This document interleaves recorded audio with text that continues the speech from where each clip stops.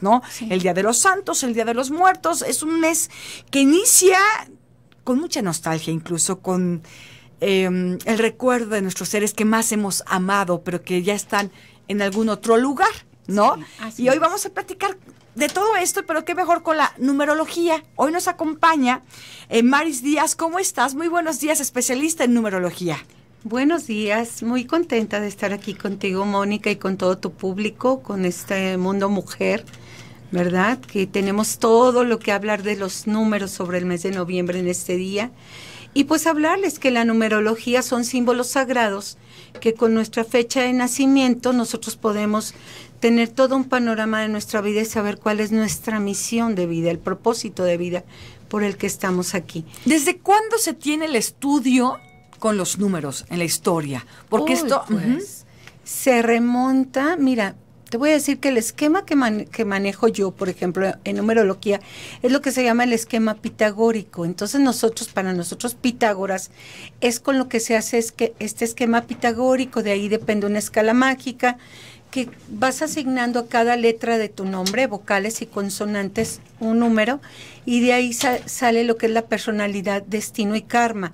Y luego se hace un esquema con la fecha de nacimiento, tal como es el día en el que estás registrada en tu acto de, acta de nacimiento. Hay gente que, por ejemplo, nació el 2 de marzo y la registraron el 15 de marzo. ¿Qué, voy a hacer yo en la numerología? La del 15 de marzo. Y aparte hago la de 2 de marzo para saber por qué sus padres le cambiaron, porque al cambiarle la fecha le cambiaron todo el destino o quitaron quizás algunas cosas que venía a trabajar. La numerología es algo perfecto matemático. A veces me preguntan, oye, es que quiero una lectura. Ay, es que yo nunca había venido a nada de esto, pues he sido a lectura de cartas y todo. Y entonces yo les digo, es que los números no son adivinación, los números son perfectos, son matemáticas perfectas que yo distribuyo nueve esquemas y desde ahí tú puedes saber tu día personal, mes personal, año personal y por supuesto tu numerología de nacimiento, ¿no? Que ahí este pues nos habla de cosas maravillosas, por ejemplo, el mes en el que naciste es el aprendizaje por el que llegamos al mundo. Y también nos habla de ti, habla personalmente de la persona que tiene esa fecha. El día de nacimiento nos habla de la madre, cómo va a ser nuestra madre, qué tipo de relación vamos a tener con ella y si eres mujer, cómo eres tú y si eres hombre, qué tipo de mujer atraes a tu vida. Luego el año de nacimiento nos habla del padre. Y ahí vamos a ver que los hombres, si son hombres, va a hablar de ellos mismos. Y si somos mujeres, qué tipo de hombre atraemos a nuestra vida. Y luego la suma de mes, día y año nos va a dar lo que es la misión de vida o lo que es nuestra mente. Y la misión de vida es el propósito de vida. Como yo llamarme María del Carmen, como ser número nueve y ser pisciana, o sea, para mí el, eso es emblemático, es lo que te marca toda tu vida. Es el destino en el que tú vienes a este mundo, por el que tuviste la sagrada vida, ese don sagrado que es la vida, ahí está tu propósito de vida y la numerología para eso nos sirve. Luego hay otros dos números que aparecen en el esquema que nos van a hablar que al sumar el día de nacimiento con lo, que es la misión, nos va a dar algo que se llama reacción. Y ahí nos va a hablar cómo estaba mamá en el momento del parto. ¿Por qué es importante el momento del parto? Porque mamá es la grande, porque nos da la vida, sostiene la vida y nos permite que tengamos este cuerpo en el que el alma va a trabajar todo el tiempo que esté durante este durante su trayecto de vida en este planeta Tierra. Y la suma de todo pues ya nos da la síntesis, nos habla cómo estábamos nosotros en el momento del parto, cuando, cuando estábamos naciendo y nos habla de nuestro clave para que nosotros podamos salir adelante en la vida. Cuando sentimos, ay, ya no puedo con esto, ese número nos va a dar la fuerza para avanzar en la vida. Esto entonces estudia desde raíz, no solamente es yo solito mis números, no, viene desde con nuestros padres. Sí, sí, sí, sí. Mira, yo también soy consteladora familiar, entonces para mí que yo doy talleres y todo por ahí en la página www.delarraizalparaíso.com van a ver las redes sociales y entonces ahí se van a dar cuenta que desde las constelaciones familiares nos lleva a destrabar cosas por las cuales no avanzamos. ¿Qué posibilidades tenemos si no las hemos, no las hemos trabajado? Por ejemplo, tú hablabas de noviembre, entonces noviembre viene a trabajar la pareja y la madre. Son cuestiones que es el trabajo en equipo. Entonces aquí muchas gentes que nacen en noviembre se les, se les puede dificultar su relación con su madre y se les puede dificultar también la relación de la pareja, el hacer equipo. Son personas también que cuando están en áreas laborales son muy individualistas y quieren hacerlo todos solitas, entonces tienen que aprender a trabajar en equipo. Entonces el mes de noviembre también es muy emocional, ¿sí? Febrero, que también es un número dos y noviembre que al ser 11 nos suma un 2, o sea, eso es lo importante, ¿verdad? Que siempre quede un solo dígito. Entonces, noviembre al ser un 11, pues une, o sea, esa individualidad y le va a costar trabajo el poder hacer un, una, un trabajo de equipo, ¿sí? El primer equipo que se hace es con la madre, ¿sí? ¿Por qué? Porque la mamá toma la semilla de papá, entonces acoge, sostiene y luego impulsa. Y papá, o sea, papá da la vida, pues ahí, ¿verdad? Y la toma la mamá. Y entonces, ¿con quién hacemos nuestro primer trabajo de equipo con ella? Los tres primeros meses de vida entramos en el romance. Si me quedo, no me quedo, ¿qué hago? Ya al tercer, del tercero al sexto mes, ya empiezo, ya me quedo en la vida. Entonces empiezo a desarrollarme con más fuerza dentro de mi madre. Y si tú sabes, hay que nacen en seis, en siete o en ocho meses, pero ya el cuerpo ya está formado para salir. Entonces, los últimos tres meses, el trimestre de nacimiento, ya estamos entre, me quedo mamá, no, mamá, por favor, ya me quiero ir, ¿verdad? Y la mamá también está, ay, hijo, no te vayas, ¿verdad? O ay, ya estoy tan cansada con este embarazo que ya quisiera tenerlo, ¿verdad? Entonces entra el momento de la despedida con la madre y salir hacia la vida impulsado por esa por esa belleza y ese don grande que sostiene una mujer, ¿verdad? Y por lo cual una mujer que tiene un hijo debe considerarse valiosa. Hay mujeres que a lo mejor no tienen hijos, ¿verdad? Pero hacen muchos proyectos de vida. O sea, a veces hacen proyectos de, negocios, proyectos de sociales, altruistas, de muchas maneras, ¿verdad? Entonces ahí, por ahí, fíjate qué importante es saber nosotros que a través de nuestra fecha de nacimiento podemos tener un autoconocimiento que nos permita tener un gran avance en la vida, porque estamos, yo digo, en este mundo de forma breve es un breve instante y si no lo aprovechamos, si nos dedicamos a sufrir, a ver el pasado, a quedarnos estáticos, a no avanzar, pues entonces no vamos a ver lo bello para lo que estamos aquí. A veces a pesar del caos tenemos que avanzar y seguir siempre adelante.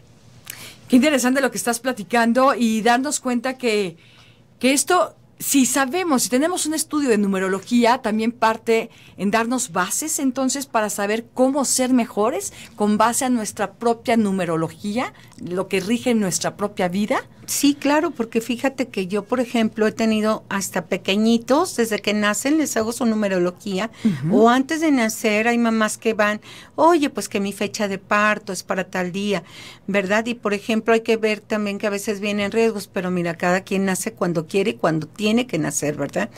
Pero luego las personas, por ejemplo, una persona que está aspectada para el mundo de las finanzas, ¿verdad?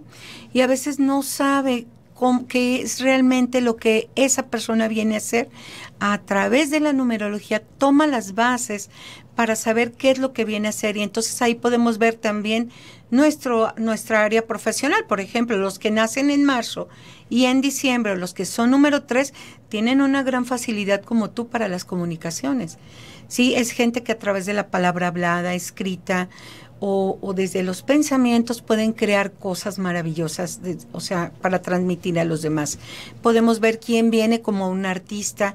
Se pueden ver cosas de vidas pasadas también, Mónica, desde el mes de nacimiento, junto con lo que es el karma, que te dije que el nombre hace personalidad, destino y karma. Entonces ahí ya el numerólogo, en este caso, va enfocando cómo la persona puede ser una mejor tarea en la vida. ¿Qué pasa con las personas que tienen muchísimos nombres.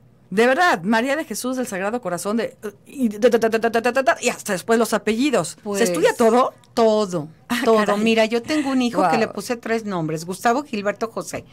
No me preguntes cómo, pero cuando yo lo iba a registrar, me dejaron elegir el nombre, me dejaron y yo me tomé la, la libertad Entonces dije, mi hijo se va a llamar así. Y va a tomar lo mejor de estos tres hombres, ¿sí? Y realmente, pues fíjate cómo ahí marqué yo un aguas. Entonces, todo eso, ¿qué crees? la gente que tiene muchos nombres, eso le da mucha fuerza en la vida. Pero hay gente que, por ejemplo, tiene nombres que les pusieron como dolores o como repetir nombres de gente que ha sufrido mucho en la vida, ¿sí? Recuerdo que en alguna ocasión llegó un Enrique conmigo y me dijo, ¿por qué te pusieron Enrique? Era mi alumno de, numerología en la Ciudad de México. Entonces me dijo, es por un, por un señor que mi mamá quería mucho, que se perdió y era un gran amigo y vecino y todo. Entonces yo ahí hasta le dije un acto psicomágico para que pudiera, o sea, sacarse esa muerte que venía cargando de un hombre que se perdió y que nunca supieron de él. Entonces él me decía, es que yo no sé hacia dónde ir en la vida. ¿Sí? Entonces el, ese nombre nos ayuda también para que tú liberes y tomes tu propia esencia, que no vengas cargando lo de los ancestros. Si es bueno, qué bueno, pero si no, pues hay que romper eso. Muy bien, voy a ir a un pequeño corte comercial. Regresando con Maris Díaz tenemos sorpresas para ustedes, amigos radioescuchas. Eh, son cuatro consultas, me decías. Cuatro estudios general de numerología. Está padrísimo. Por escrito. Que nos dejen su, su participación en este caso, ¿no? Sí, y su correo. ¿Desde dónde nos escuchas? Exacto. Vamos a un corte, regresamos con más. My sign is vital. I did my best to notice when the call came down the line. Up to the platform of surrender. I was brought, but I was kind. Estamos en tu mundo, en tu mundo, mujer. Gracias por estar con nosotros en esta segunda hora de Radio Mujer contigo. Estamos ya recibiendo la, participación de ustedes. Quiero aclarar, no son cuatro consultas, es una por persona y son cuatro ganadores. ¿Sí? ¿Así estamos bien, Maris? Sí. Ahí así estamos bien. Bien, 31 22 11 90 y 36 47 18 83. WhatsApp ya en servicio contigo 33 10 19 07 12. Lo repito, 33 10 19 07 12. Buenos días, quiero participar por las consultas. Gracias, Rocío Peña, muchas gracias por estar presente. Saludos cariñosos, Mari Carmen de Dios, y que Dios la siga bendiciendo. no, ahí está. Mari Carmen, que Dios la siga bendiciendo más bien. gracias. Ahí está, ahí está. Buenos días, mi nombre es Celia Olmos, también participo. Hoy estamos hablando del mes de noviembre. Si tú naciste en noviembre, hay muchas cosas que se viven en este mes y que son de manera muy especial, porque incluso eh, como bien decíamos, eh, se comparte lo que es la vida y la muerte, en este caso hoy Día de los Santos, mañana Día de los Muertos, y estamos realmente eh, con una tradición que une a la familia y a nuestros ancestros para sentir que este, llegan con nosotros y convivir con ellos por medio de las ofrendas y esta oración espiritual también. Son fechas muy fuertes. ¿Qué dice la numerología de un primero de noviembre, de un 2 de, de, noviembre también? Mira, para, para empezar, Mónica, noviembre es un 11, entonces se queda en un solo dígito, en un 2. Entonces, el 2 significa el nacimiento, pero también significa la muerte. ¿sí? Cuando nos aparece en determinado momento, no significa la muerte. Entonces, llegar a la vida es todo un suceso, toda una odisea. Te pueden abortar, te pueden, o sea, hay miles de maneras en las que tú no puedes llegar a la vida.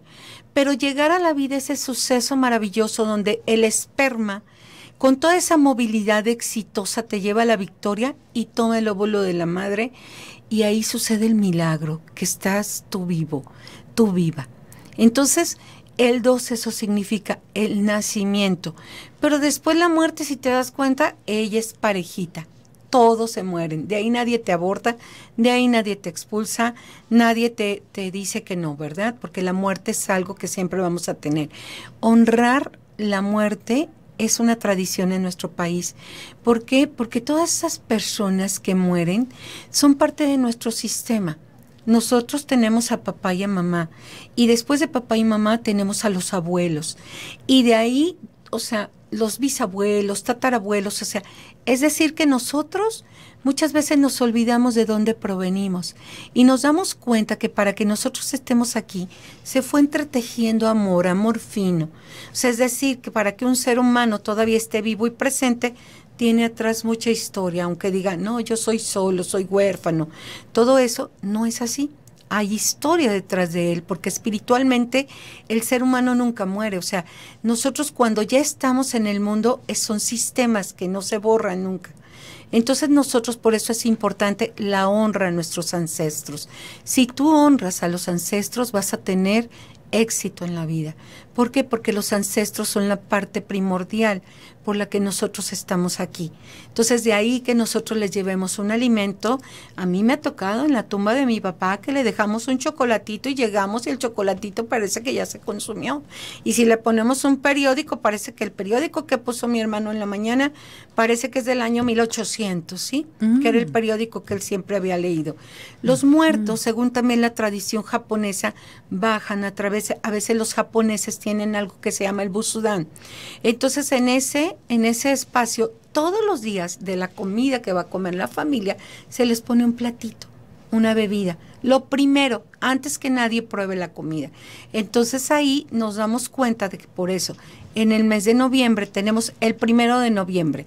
Número uno habla del inicio, pero también habla de un guía. Entonces si tú te das cuenta, por ejemplo, el uno nos está hablando de, de los santos, gente también que tuvo una tarea en la vida, ¿verdad? Porque habla de todos los santos y habla de los niños inocentes también, de aquellos que murieron, que no alcanzaron a llegar a la vida, pero hicieron un mayor esfuerzo para poder estar aquí. Entonces ellos también son tomados en cuenta. Y todo ese número uno nos habla de los inicios, nos habla también de brillar, de maestros sabios, nos habla de un guía, de algo que nos va guiando hacia un camino, ¿sí? Es como la estrella de Belén como la estrella de Belén que apareció por ahí y fue guiando hacia un suceso histórico de la humanidad. Entonces luego ya viene el 2, lo que es el 2 como tal, te digo, nos habla de la muerte. Entonces la muerte, mm, muchas veces pensamos nosotros que la muerte es algo malo. Si la vida es grande, desde las constelaciones familiares, la muerte es más grande. Porque la muerte nos está diciendo por ahí, disfruta porque cada día queda menos. ¿verdad? Y nosotros le decimos, por ahora no, será más tarde, ¿verdad? A la muerte, por ahora no, será más tarde, ¿verdad? Pero la muerte es algo súper importante porque deja un vacío para que llegue lo nuevo. Entonces ahí la muerte no tiene nada de como que todo acaba, sino al contrario, es que todo nace de nuevo. Entonces de ahí nosotros que al morir volvemos a nacer de nuevo a un mundo, a un mundo espiritual. La Madre Tierra amorosa recibe aquello, fíjate, que se lleven todo, ¿verdad? Todo se carcome, pero esos huesitos, esa esencia tuya, eh, decía, yo también soy homeópata, entonces decía, decía uno de los maestros en un libro argentino, Tomás Pablo Pacheiro, decía que nosotros debíamos estar tan puros para que cuando la Madre Tierra nos reciba, podamos dejar nosotros algo fértil, algo amoroso, ¿sí? Mm.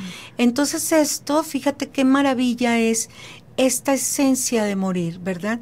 La muerte está en nosotros, siempre va a estar, nos va haciendo un tic-tac, tic-tac que no escuchamos y que algún día vamos a llegar, ¿verdad? Entonces, nacer en el mes de noviembre no significa que estés muerto, ¿eh?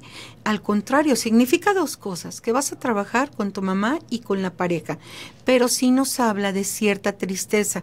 Por ejemplo, la gente que nace en 2 de noviembre casi siempre tiene como ese dejo de tristeza, ¿verdad? Porque pues nació en un día donde se celebran los muertos. Yo pienso que si algún día nosotros cambiáramos nuestras creencias y nuestras creencias no fueran ir a llorar por la muerte, ¿sí? Sino pensar, esa persona ya cumplió su cometido, ya, ya hizo lo que tenía que hacer, el propósito de vida por el que estaba aquí. Y darnos gusto de que lo cumplió y ahí estamos llorando y los procesos de duelo, ¿sí? Vamos a los procesos de duelo. Yo tengo escasos, ¿qué será? Escaso un mes que murió el padre de mis hijos, ¿verdad? Entonces veo, sí, observo en mis hijos un dolor que nunca había visto. ¿Sí? Nunca los había visto así.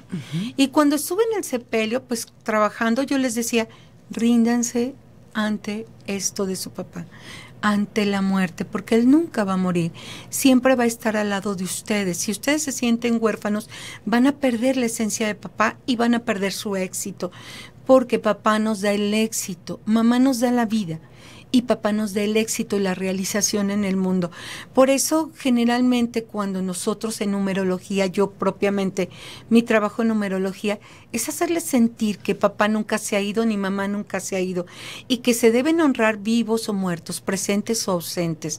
Y entonces la persona tiene cambios en su vida donde empieza a avanzar en camino al éxito. ¿Qué es el éxito? El éxito es que tú te sientas feliz como estás, donde estás y con lo que haces.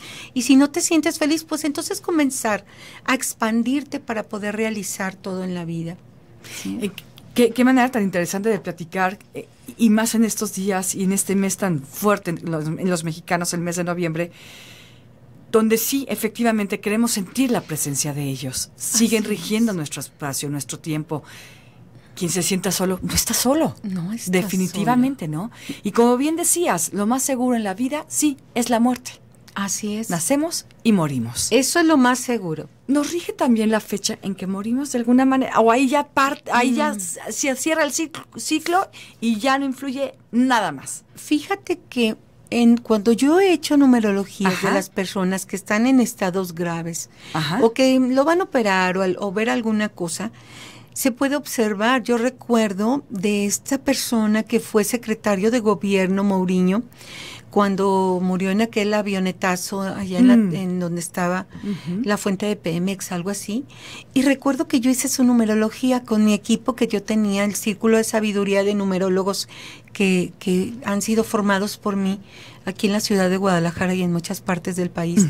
Entonces, cuando lo hice con ellos, vimos que toda su trayectoria estaba plasmada. Hasta la muerte. Hasta la muerte. Hasta la muerte. Hasta el día que murió, vimos los números. Sin embargo, sin embargo, un numerólogo no se puede permitir ser predictivo. Eso te quería preguntar. ¿Qué tanta discreción? Porque si le dices eso, imagínate. Mira. Previo. Ay, caray. Te voy a decir que mis hijos me preguntaban, oye mamá y papá, ¿cómo está? Y papá esto, y, ¿crees que vaya a morir papá? Y todo yo les decía, está grave, acérquense a él. Era lo único que les decía. ¿Verdad? Muchas veces vemos momentos, por ejemplo, cuando murió mi padre también, el día que murió, estaba todos sus números tal cual como, como si se hubiera ido en una muerte muy en paz, casi casi con santidad, ¿verdad? Y todo. Y podemos ver en gente que cuando muere, por ejemplo, accidentes caóticos y todo, salen en sus números. O sea, pero no se puede ver hasta allá el día que está, porque si nosotros hacemos predicción, pues no es correcto. Bien. Seguimos platicando contigo después de este corte comercial. Está muy interesante, definitivamente, Maris Díaz. Y mucha participación de la audiencia. Regresando, damos eh, pie y lectura a sus llamadas. Comuníquense 31 22 11 90 y 36 47 18 83. WhatsApp 33 10 19 07 12. Estamos en vivo, estamos en Radio Mujer, estamos en Mundo Mujer. Un corte, regresamos contigo.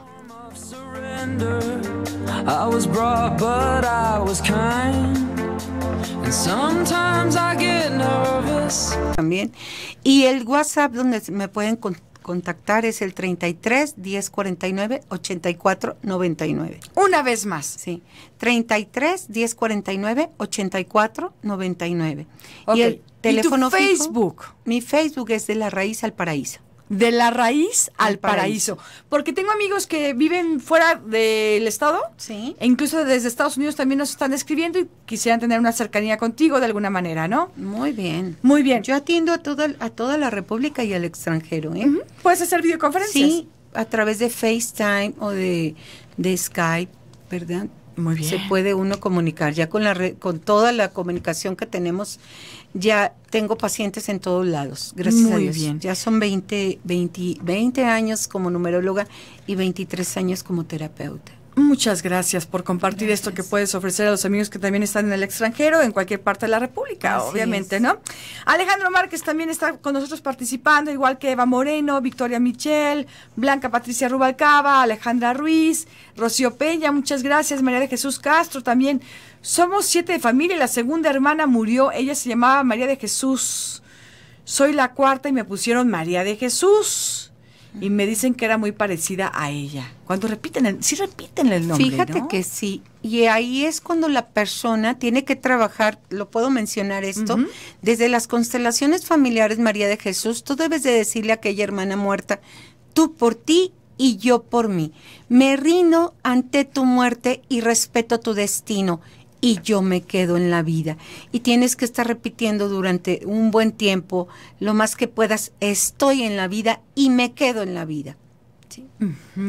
Esto cuando los padres repiten el nombre, ¿no? Y sobre todo cuando falleció un hijo y... Y le dan la carga, fíjate, Mónica, le dan la carga de aquel fallecido. ¿sí? Voy a hablar con mi hermano. Así es. O sea, muchas veces eso nos destraba, porque al estar muertos parece que la vida no nos ve y no nos llega el trabajo, no nos llegan las oportunidades, hasta no nos llega el amor. ¿eh? Muchas veces cuando no estamos en la vida y un pequeño movimiento a la vida, entonces nos pone ante ella y le decimos, vida, sorpréndeme, aquí estoy, estoy lista. Mm, en, alguna ocasión, en la casa de ustedes somos, y yo acostumbraba a decir que éramos 10 hermanos, pero en realidad yo tenía que haber dicho somos 11 porque el primero falleció, Oscar Ignacio.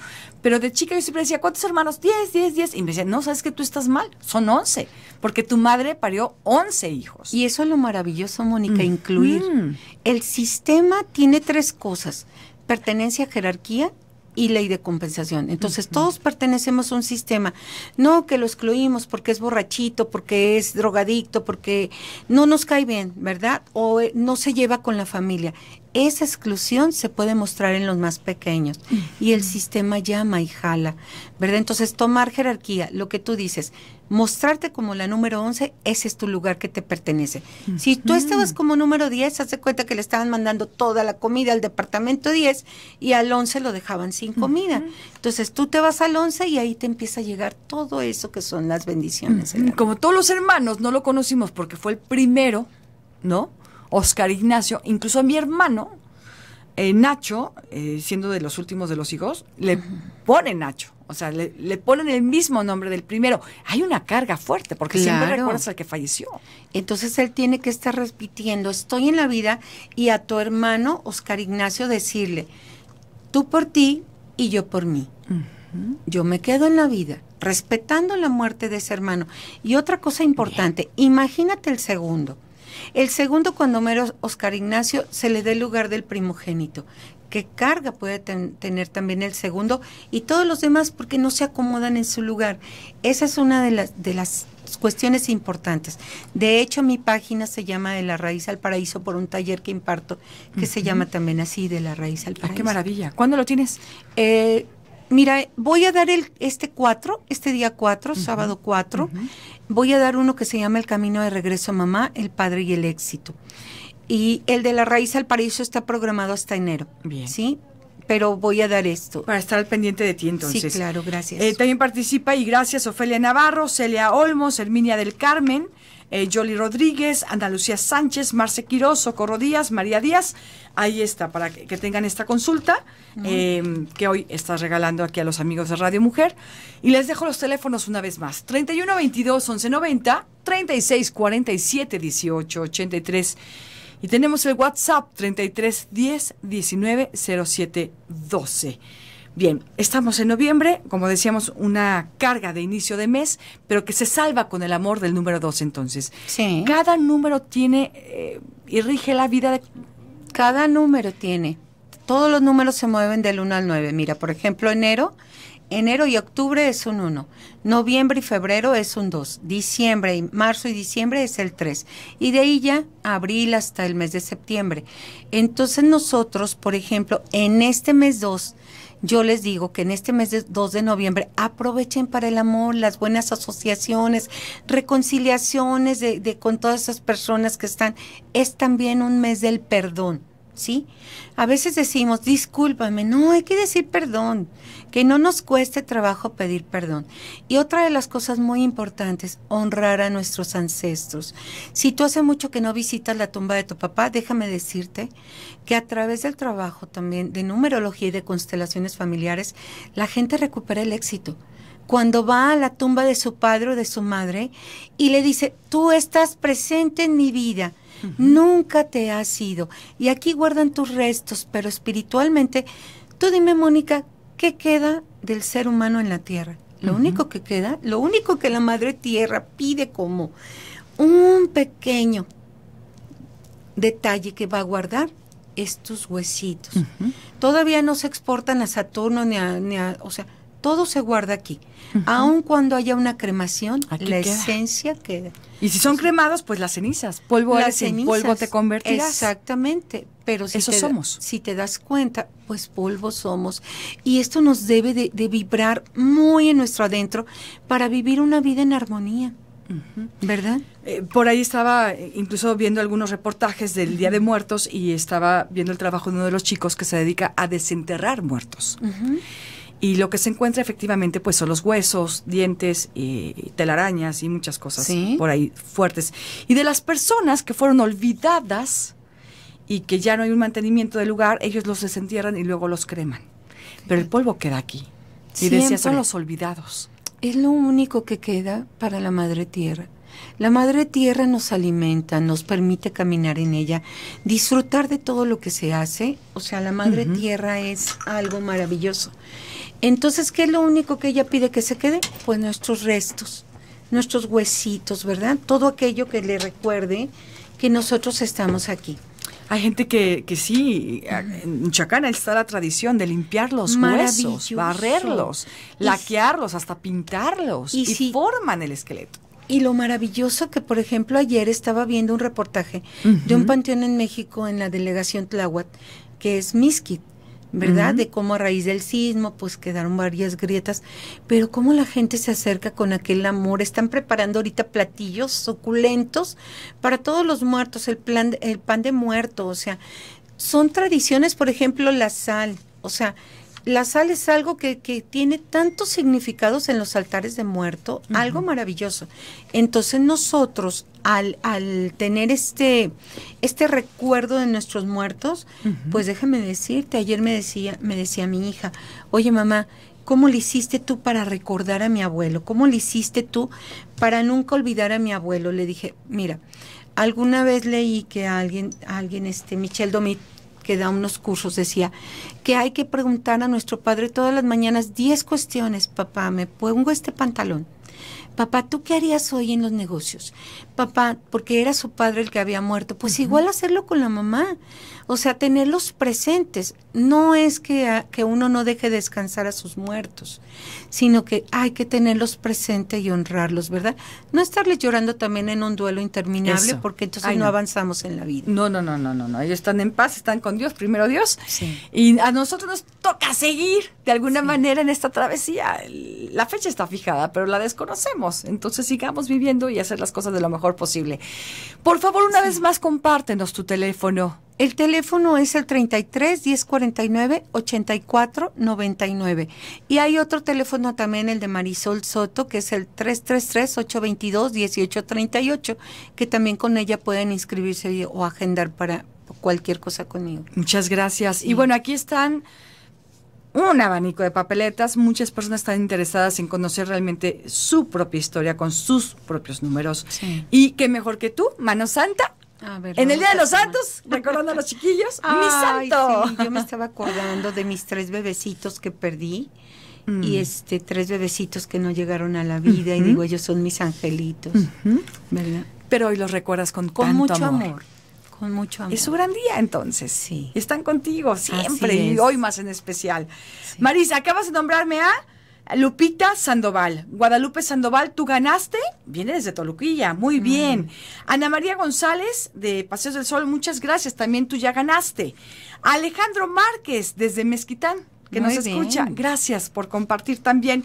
Y Ofelia Navarro Barba, aquí no me tiene la colonia, pero sabemos que muchísimas colonias, Valeria, están siempre presentes en Radio Mujer.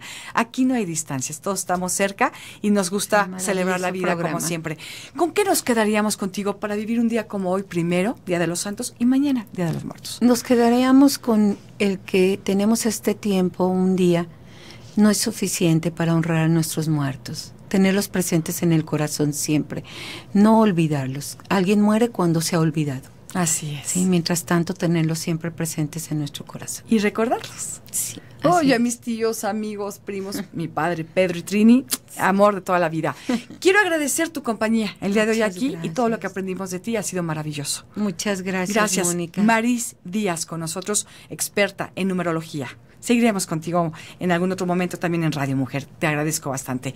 Gracias, Valeria en los teléfonos, Karen en la producción, Toño en los controles. Abraham en el video. A continuación llega nuestra compañera y amiga Claudia Caballero en Club de Mamás. Quédate con nosotros seguramente un tema muy especial. Yo soy Mónica Ramírez. Gracias. Que tengas excelente día.